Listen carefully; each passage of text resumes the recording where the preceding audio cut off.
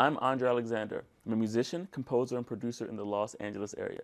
Today I'll be showing you how to get the keys unscrewed on a trumpet. First of all, it's not called keys on a trumpet, it's called valves. So how to get a really tight valve unscrewed on a trumpet.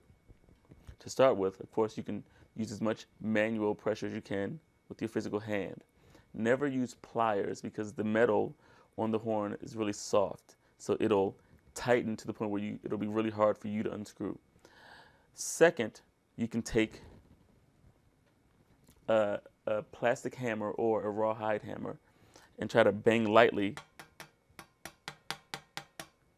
around the area that's stuck. What that does is loosen the calcium deposits or the rust that may have accumulated over time, a period of time. So you try that around it. Not too hard, you don't want to dent the horn.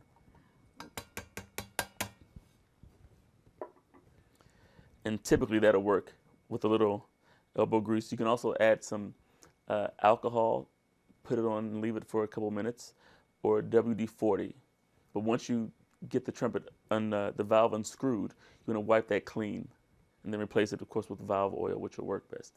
If none of these techniques work, I recommend you go to a professional who deals with this all the time and they will easily get it unscrewed for you.